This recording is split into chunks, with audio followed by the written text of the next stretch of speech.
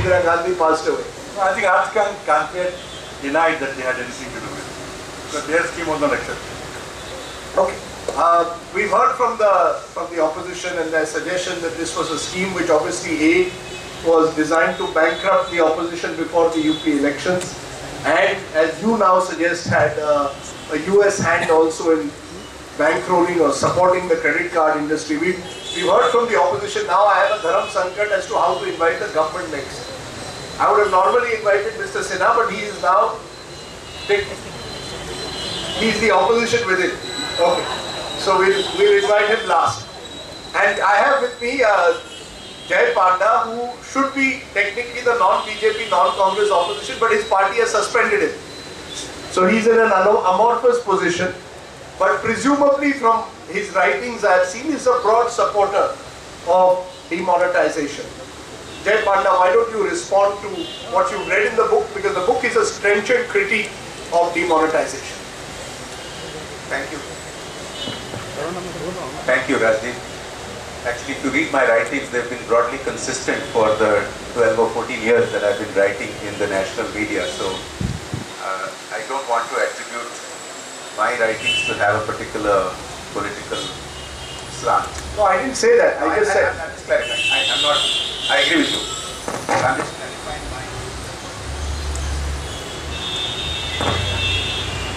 No, I wasn't blaming you. I'm just clarifying where I stand. Uh, having said that, uh, it can be unpopular in uh, many circles to say anything positive about demonetization. And I suspect today is one of those occasions uh, where I don't think there is much appetite for anything positive about demonetization. Especially when a book as well researched and written as this. And I must compliment uh, Mr. Arun Kumar because I have had a chance to quickly read through the book and it marshals the facts and the arguments against demonetization uh, in a most comprehensive manner that had not been done so far. So compliments on, on that. But having said that, I, I must admit, Rajdeep, that I have mixed views on demonetization. Uh, yes, it did disrupt the economy. And it was always going to.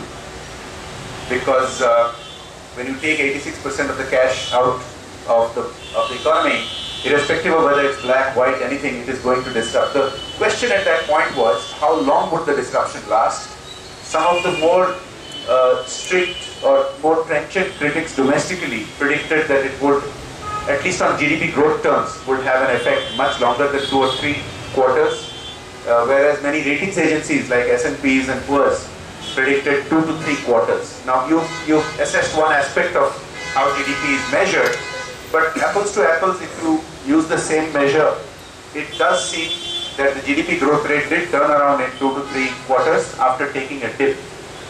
That doesn't mean there aren't problems because uh, you rightly pointed out that a large chunk of the economy is in the informal sector. And willy-nilly it is being dragged into the inside the tent and followed by followed with GST implementation with all its initial teething troubles that are still continuing in some sense.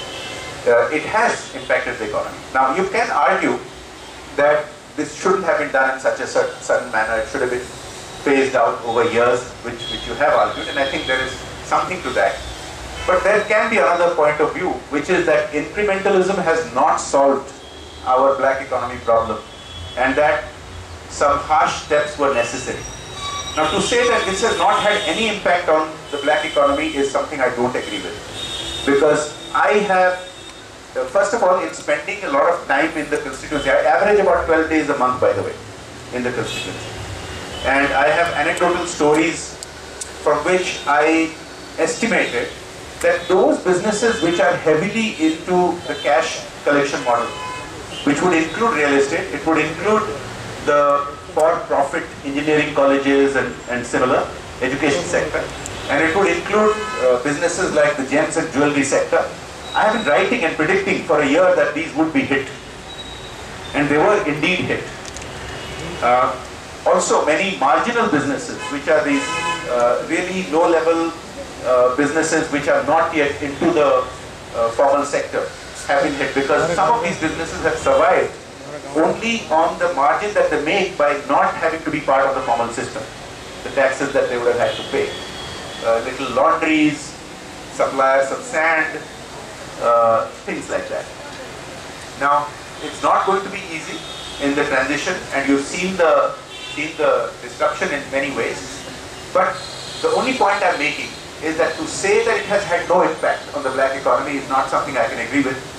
Uh, the real estate prices are down. And I can cite examples not just from Gurgaon and Delhi, which you can do, but I can cite examples from my Kendrapada, where poor shopkeeper told me that he was struggling to buy a piece of land, just a tiny little piece and very small amounts compared to urban prices, which he was never able to do. Every year the costs went up and he attributed it to the corrupt officials, the corrupt politicians, the corrupt um, uh, fixers in, in, in uh, uh, the constituency. And uh, this is a man who has subsequently been able to buy a tiny little piece of land uh, somewhere in the rice fields a few kilometers outside of Kendrapada town. Uh, if you are somebody that is buying real estate, if you are somebody that has a check with which you want to buy a piece of jewelry, uh, uh, or if you are uh, a seeker of a private, um, if you're a consumer of a private education institute, not a supplier, then the picture looks quite different. Now, again, I'm, I'm saying this very clearly, that I have mixed views. I think uh, demonetization followed by GST did in fact hit the black economy very severely.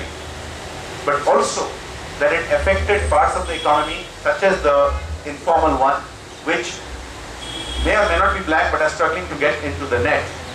Uh, so it's a, there are two sides of the coin that I want to look at. And uh, as I said, you can, you can take a view as to whether uh, it should have been more incremental over the next uh, few years, few decades.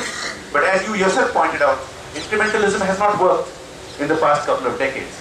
So uh, a swift kick to the shins, perhaps you can argue, was necessary.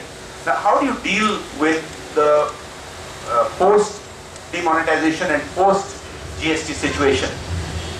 Jobs are indeed uh, a big issue. But here I posit this. I posit that jobs are a problem that have been there for quite some time before demonetization and before GST. And in fact, it's not just an Indian problem.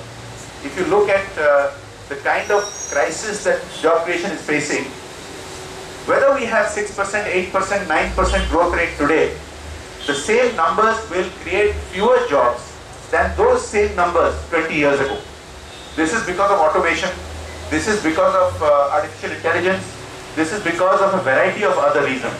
So we have a, dare I call it a secular jobs crisis, which is a structural one, uh, which any government will have to deal with. Neither this government nor the next couple of governments are going to be able to solve the jobs crisis anytime in a hurry. So we have many other challenges to look forward to. I just want to conclude by saying one of the arguments I have been championing is a universal basic income, precisely for this purpose. There are many economists uh, around the world, uh, Pranab Bardhan of uh, Berkeley, Vijay Joshi of Oxford, and, and several others who have argued that the UBI can work in India to use the Tendulkar line of uh, distributing a thousand rupees uh, per individual, uh, which would have a dramatic effect on rural um, disposable incomes and rural livelihoods. Uh, this is something I have argued as at least the interim solution for a jobs crisis for a decade or so. Uh, that's a totally different argument, but to, to say that the jobs could have been very dramatically different if we didn't have demonetization or we didn't have uh, GST, uh, I'm not entirely convinced by that, though I concede that the disruption has had an